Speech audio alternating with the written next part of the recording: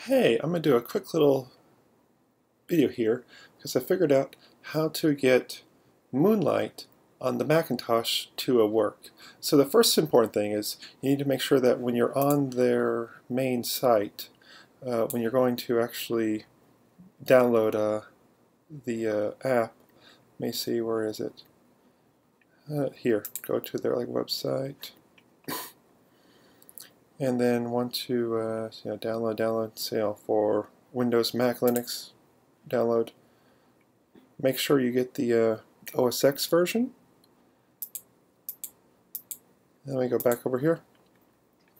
All right, and now this is where it gets really important because you need to do a couple things in order to make everything work. So the first thing I do is I would just, you know, go make a folder somewhere, you know, and put the jar that you got from the site there and then you want to open up a terminal window and then um, go to the folder where you just had it. So for me, I put it on top of my desktop. And then what you want to do is you want to run the following command first. You want to run the, the pair command.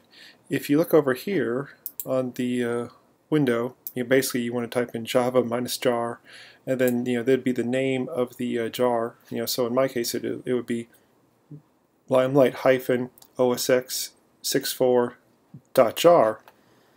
And then what you need to do is then type in minus pair and then put the address to your host machine.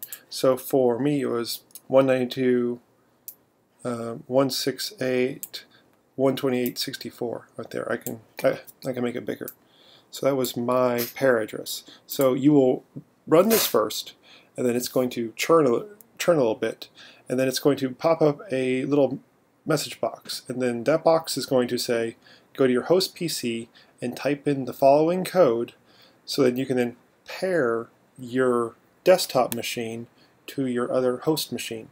So you need to firstly do that, run to your other PC, which hopefully, you know, you're like GeForce Experience is currently working, you may want to go in there and just say, open the experience first, you know, make sure if it has to do any updates, you know, it can get all that stuff done.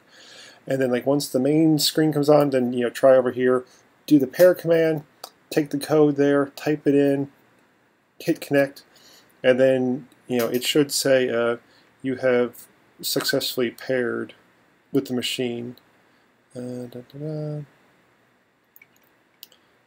Where is that guy go? I don't know. It was somewhere in here. But it'll, it'll basically say pair successful.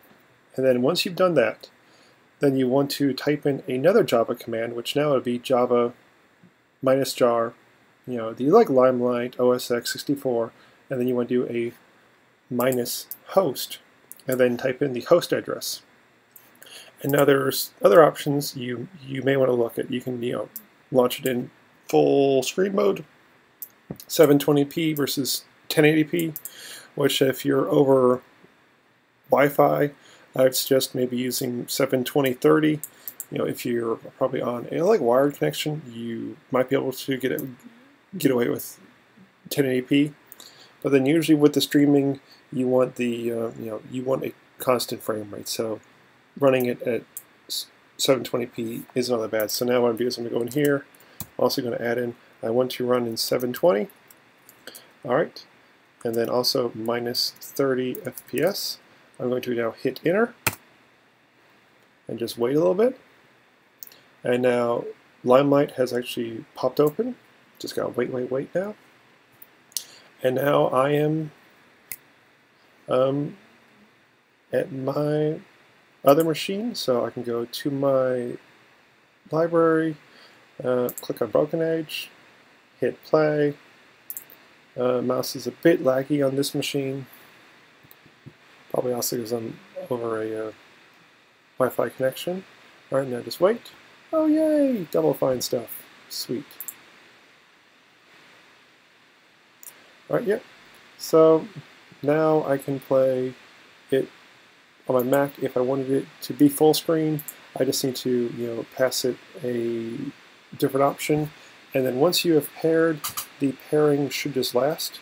So that will, you know, so you don't need to do that step over and over again.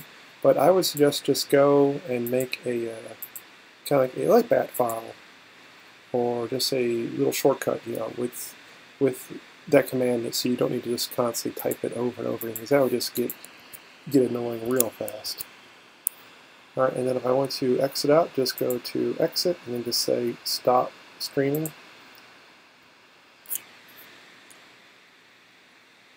And it's like, wait a second, it should turn itself off. There it goes. Okay, now it is over.